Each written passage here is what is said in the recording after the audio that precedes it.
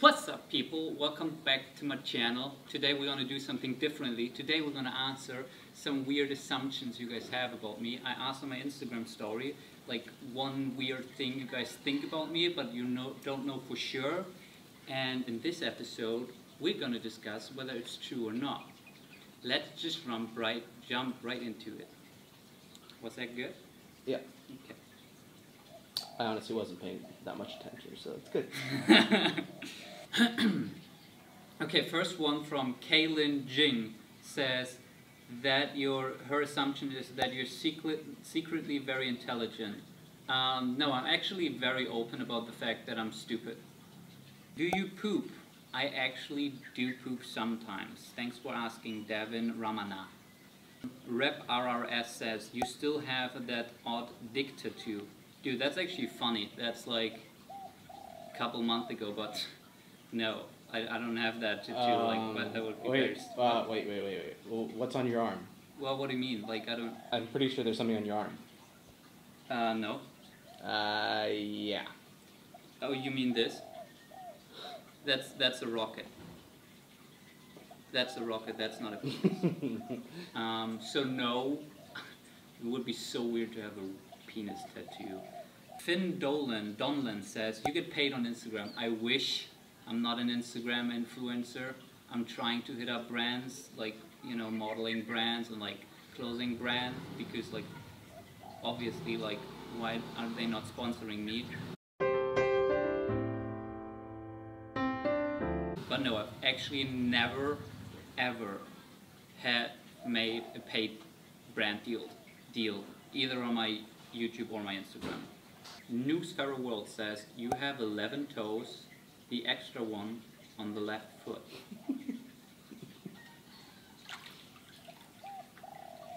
I see six. uh, so, busted. Ritik Malavia says, you are volatile and unstable. Um, no, I would say I'm pretty zen. Fuck Ricky, dude! I'm sorry. You... I, I apologize. I'm sorry. Dude, why can't you just do it some other time? Like, just hold it back. Anyway, um, yeah, pretty zen. I don't, I don't overreact. Um, I don't, I don't have any strong reactions to things.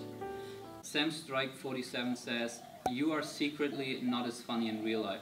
Well, actually, I'm, True. I'm, pre I'm pretty funny in real life. Like, actually, all the time. Yeah. Uh, what, what was that guy's name? Sam Strike 47? Sam, you're 100% true. Not true. Um, hey there, you are cool. That's the tag says. You have bad memory with school. Uh, that is, I guess that's somewhat of a true assumption. Depends on like what school. I had, I have amazing memories of my elementary school. I have amazing memories of my high school. My middle school, on the other hand, though, um, still pretty good, but I, I got bullied. I was like the, the smallest kid in class. I was always the shortest. Um, I was always trying to hang with the cool kids, but it was this in between where they kind of let me hang with them. So I didn't even, you know, go out and find like friends who were like more like-minded. But they also, I wasn't really ever part of the group.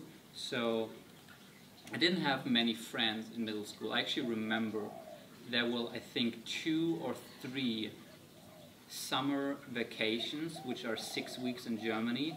And on the, in these six weeks, I literally met with a friend twice. In six weeks, I hung out with a friend twice. And sometimes it was the same friend. That's how few friends I had in middle school. But um, high school kind of kind of saved that for me. Kwai Shan says, wanted to study liberal arts for uni. No, I actually wanted to, I actually studied physics and philosophy um, because those are my two favorite subjects in high school. And so I thought that's the easiest path, you know, to fucking 9 to 5. Gladly I dropped out. Liv K. Forrest says, rich family. Um, I think there are actually like three or four like these. Um, I mean, I grew up in like an upper middle class family, like neither rich nor like poor. I definitely grew up in good circumstances. Um, but from the day I, because a lot of people think that I'm kind of supported by my parents, and I definitely have savings from like what my parents saved up for me. for college and other things, um, but I mostly burned through them when I was in New York City. And so since approximately halfway through being in New York City is when I ran out of my savings and I realized I needed to figure out how to make money and that's when I started freelancing and since then um, I've kind of been standing on my own two feet.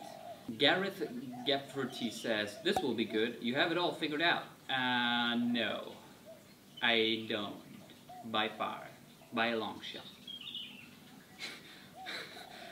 Hashitapil says, you're bisexual, maybe, and I think you wax. That's why you have perfect, clear ass skin. so on the first part, that's actually also a recurrent theme. A lot of you guys think I'm gay. I'm actually not, at least I think I'm not. I like girls. Never was really turned on from gay porn. I do like, no actually, yeah I do a lot of gay things. I see where that's coming from. But pretty sure I'm not gay. Um, also not bisexual. And I actually do not wax. I'm naturally this hairless. I shave approximately once every two weeks, and that's good enough for me. So yeah, I'm, I have a baby face. And you hit a very soft spot with that, literally. Ooh, I like this one. Bobo Efokojic says, you have great ambitions and potential, but seemingly you're not doing anything tangible. Now, that's shot fire, shots fired in my dictionary or whatever it's called. Um, I do have great ambitions. I'm not sure if I have great potential. Um, not doing any, anything tangible. I think, yeah, I mean, it's something that I I feel often too, where I feel like things are not progressing as fast as I want them to, and like you know things are happening as fast as they could be or should be or I want them to, and I think it's partly it's like just me putting a thought in my head because like things take a long time, like especially if you have big ambitions, like it doesn't happen in like a year or two or two months or whatever. And then on the other part, it's also like I can always do more, right? I can always work more. I can always work smarter. I can always, you know, work on myself. Um, so, but it's interesting that you're saying not anything tangible. I'm gonna block you right now. You're faking the accent, says Mark Claudio. What kind of accent am I faking though? The American accent? I'm not faking any accents. The 13th day says, You're a virgin. Actually, funny enough, I'm not anymore, which is amazing. And actually, for, for quite a long time now. Six months now, I think. Yeah, there was a, I think my most watched YouTube video is the video where I talk about being a virgin with 21 years old. I'm happy that that got kind of sorted. Sam Evans asks, or assumes, I've always wondered whether you drink. I drink water, if you're meaning alcohol, uh, not much, but I definitely, like, I'm not, like, sober sober in the sense that I never ever drink anything, but, I mean, on my 80, my grandma's 85th birthday, which was, like, two weeks ago, I went fucking ham. I partied, you know, I, you know, I got wasted, and I probably drank, like, one beer and one red wine. So now you kind of know what partying means to me. Xavier Fuentes says that you're amazing not an assumption, just facts. And he spelled facts all capitals. You're right on that, too. Right, Ricky? Um, okay, next one. The grass class official says, you don't get distracted, like, ever.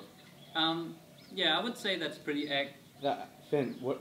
Over here, over here. Oh, yeah, I would say that's pretty accurate. I never... Uh, oh pretty accurate. No, actually, I get distracted like all the time. I mean, fucking Instagram um, is a fucking loophole, I think, for everyone. And I realized that it's not really so much about like being the kind of person who never ever gets distracted and like picks up the phone and just never scrolls through Instagram, but it's just like putting in processes to make sure that you're not getting distracted as often as possible. I try to keep my phone in the morning in airplane mode as long as possible I know people like literally two days ago I talked with the founder and what she does when she posts on Instagram, every time she posts on Instagram, she downloads the app, then she posts something on Instagram, and then she deletes the app again until she posts again, just to make sure that she there isn't even this this you know possibility to get distracted.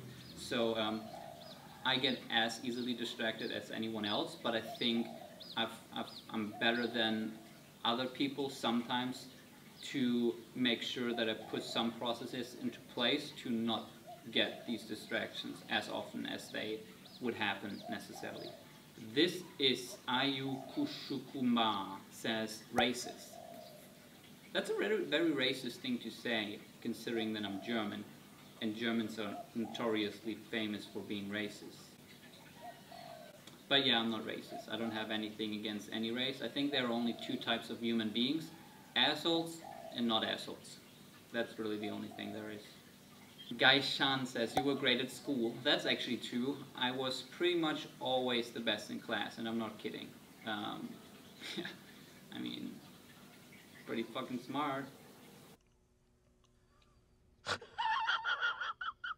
Sasha Kostenko says, You're kinda rude.